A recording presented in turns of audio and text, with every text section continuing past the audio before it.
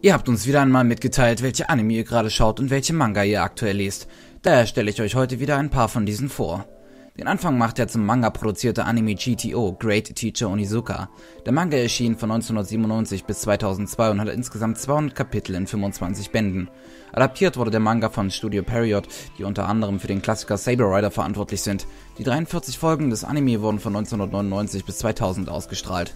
Aber worum geht es in Great Teacher Onizuka eigentlich? Es geht um einen perversen 22-Jährigen, der früher einmal in einer Gang war und den schwarzen Gürtel in irgendeinem Kampfsport hat. Und wie der Titel des Manga-Anime verraten mag, möchte dieser Kerl, der Unizuka heißt, Lehrer werden. Sein Antrieb dabei sind die Highschool-Mädchen. Ich habe bisher die erste Folge gesehen, die 48 Minuten lang ist, und habe versucht, mir einen Ersteindruck zu machen, welcher sich recht positiv zeigt.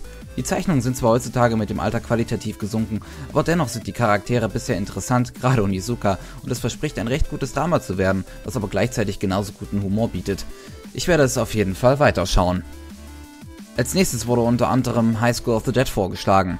Der auf einem Manga basierende Anime beträgt 12 Folgen plus eine OVA und wurde von Madhouse, für die ich nach den letzten Watchner-Folgen keine Beispiele mehr zu nennen brauche, produziert. Das erste Kapitel des Manga erschien 2006 und bis heute ist der Manga noch nicht fertig geschrieben.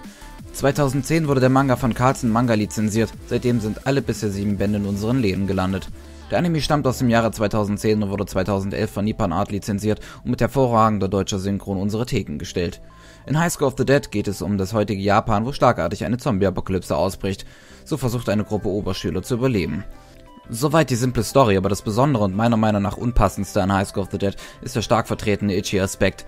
Ganz ehrlich, ich habe nichts gegen Itchy, aber Itchy und Zombies? Was?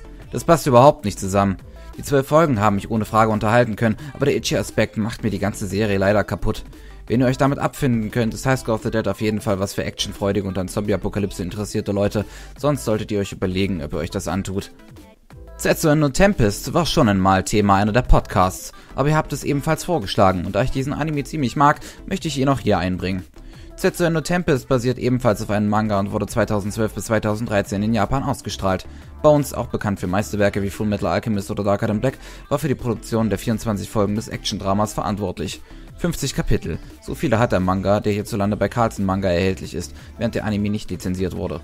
In Setsuo no Tempest geht es um ein Kumpelduo, das plötzlich in einer Geschichte voller Magie und Action landet und recht viele Shakespeare-Anspielungen bereithält. Ein tragischer Tod löste die Geschichte aus, bei der es darum geht, die Welt zu retten. Aber vor was eigentlich? Da würde ich jetzt zu sehr spoilern, da die Bedrohung eigentlich erst später bekannt wird. Eines kann ich euch aber sagen, Zetsu no Tempest ist spitze. Freunde von Shakespeare, Action und Romanze kommen mir ganz auf ihre Kosten und bekommen eine grandiose Geschichte mit wirklich wundervollen Charakteren geboten. Das Anschauen lohnt sich. Das war's mit dieser Folge von Watch Now. Schreibt uns gerne wieder die Anime und Manga, die ihr aktuell schaut und lest in die YouTube-Kommentare oder auf Facebook.